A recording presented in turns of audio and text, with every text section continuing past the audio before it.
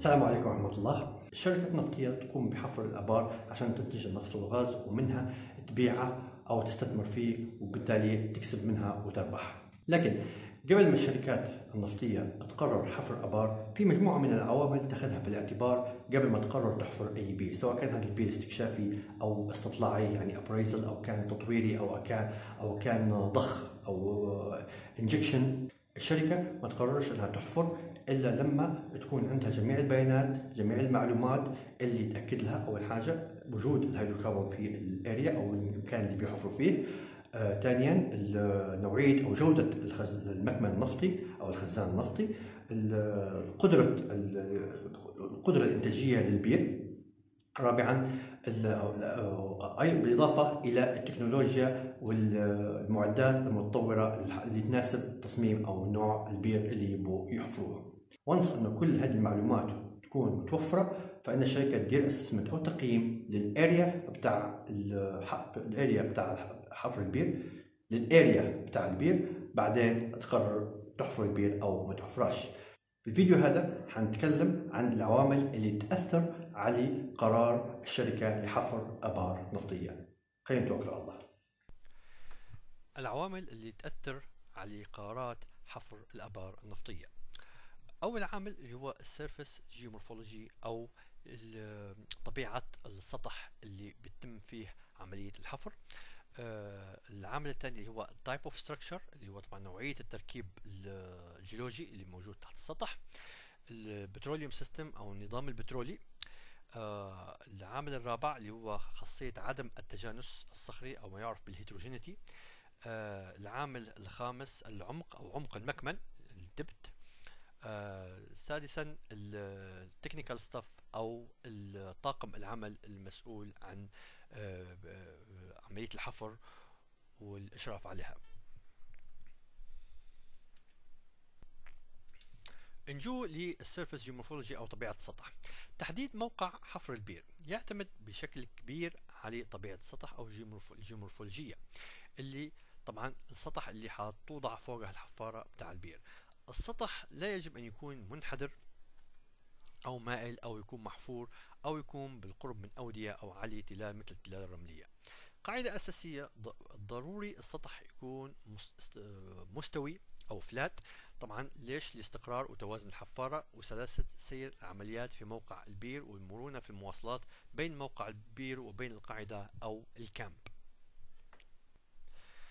العامل العامل الثاني اللي هو نوع التركيب الجيولوجي أو ال type of structure نوع التركيب الجيولوجي يتحكم أو يعتمد عليه خطط تحديد وتحسين موقع البير النفطي بالإضافة إلى الاستراتيجية اللي بنحفر بها البير ليش؟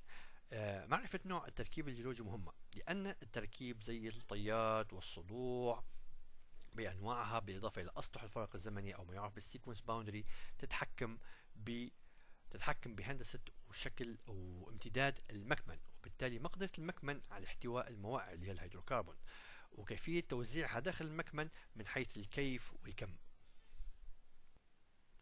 بعدين نجو للنظام البترولي أو ال petroleum system النظام البترولي لازم تتم دراسته في المنطقة المراد حفر بير فيها. والهدف طبعا هو تأكيد وجود الهيدروكربون من عدمه. في العديد من الأسئلة اللي يجب أن تكون إجابتها جاهزة قبل الحفر أو التطوير. ومن هذه الأسئلة متعلقة بالنظام البترولي زي هل في طبقة غير نفاذة فوق المكمن علشان تمنع هجرة النفط؟ كم يبعد صخر المصدر عن المكمن؟ وين موقع بتاعه أسفل المكمن؟ أم بعيد عليه بمسافة وفي اتجاه معين؟ آه، هل صخر المصدر هذا يغذي أكثر من طبقة مكمن؟ شنو هو الزمن التقريبي اللي حدثت فيه الهجرة من الصخر المصدر إلى المكمن؟ هل خواص المكمن جيدة من حيث المسامية والنفاذية بدرجة أولى؟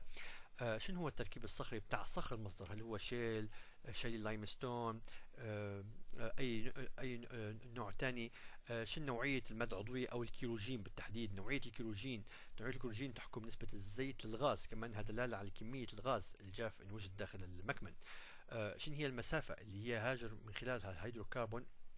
حيث أن المسافة هذه تأثر على خواص الهيدروكربون لما يوصل للمكمن طبعا كل هذه الأسئلة وغيرها أكثر لازم يتم الإجابة عليها قبل حفر أبار في منطقة في مراحل الاستكشاف أو التطوير.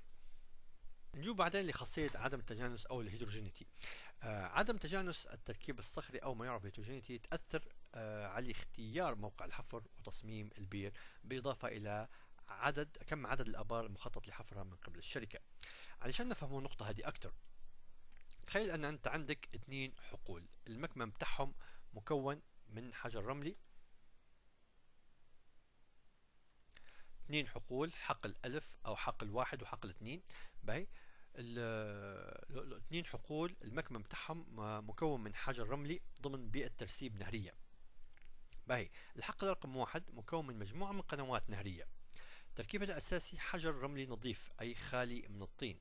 أو كلين ساندستون وهذه القنوات تكون متراكمة فوق بعضها البعض vertically stacked آه، كجسم واحد للمكمن النفطي هذا. بينما في الحقل اثنين آه، المكمن مكون من مجموعة من القنوات النهرية المعزولة والمفصولة عن بعضها بحيث كل واحدة لها نظام ترسيبي متباين عن الأخرى. وهذه القنوات مكونة من حجر رملي طيني أي فيها نسبة من الطين تتراوح من عالية إلى متوسطة من قناة إلى أخرى.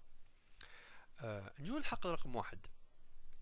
بشكل عام حفر الآبار كيف حيكون؟ حيكون ضمن حدود القناة القنوات النهرية المتراكمة فوق بعضها حيث أن كل الآبار حتكون مع بعضها تستهدف في الأغلب نفس العمق الكلي إذا أخذنا في الاعتبار أن المصيدة أو ال trap هي طية أو fold وعادة يكون تصميم الآبار في الحالات هدية pilot hole أو عمودي هو المفضل لدى الشركات طبعا في الحالات هدية باي على العكس لما نجو للحقل رقم اثنين في حالة المكمن الغير متجانس أي تكون القنوات تكون القنوات مكونة من sandstone مخلط معاه آه، طين الآبار راح تكون موزعة على مسافات مختلفة من بعضها وفي أماكن مختلفة. ليش؟ لأن كل بير أو مجموعة أبار راح تستهدف قناة بعينها. يعني كل قن... آه، حتستهدف قناة واحدة معزولة. طبعا التوزيع تاع الأبار حياخذ في الاعتبار الفرق في مساحة وشكل المصيدة بالإضافة إلى عمق الحد الفاصل بين المواقع.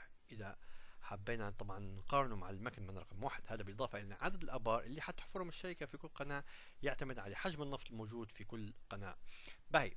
آه تصميم الآبار في حالة الحقل رقم اثنين المكمن فيه طبعا مكون من حجر رملي طيني غير متجانس بيكون آه إما آبار بيكون إما آبار عمودية هي خاصة في المراحل الأولى أو أبار منحرفة الزاوية اللي تعرف ب deviated wells أو أحيانا تضطر الشركات في بعض مراحل التطوير أنها تلجأ للحفر الأفقي لاستهداف طبقات الحجر الرملي اللي تكون سمكها صغير وتكون أو تكون متبادلة الترسيب مع طبقات من حجر طيني علشان تنتج أكبر. طبعا ليش؟ عشان تنتج أكبر كمية من النفط من هذه الطبقات.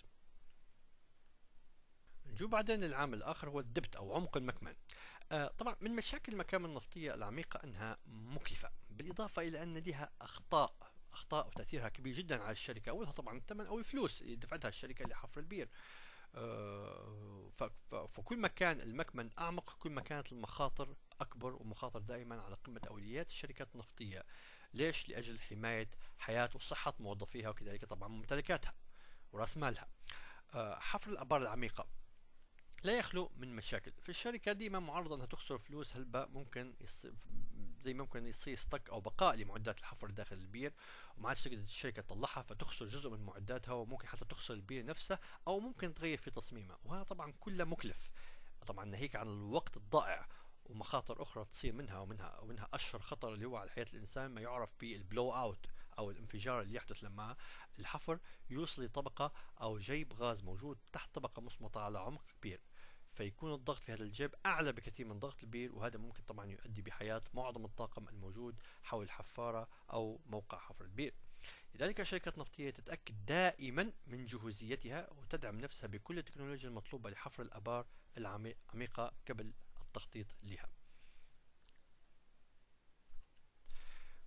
بعدين نجوه للعامل الأخير اللي هو اللي هو ال technical staff أو الطاقم العمل.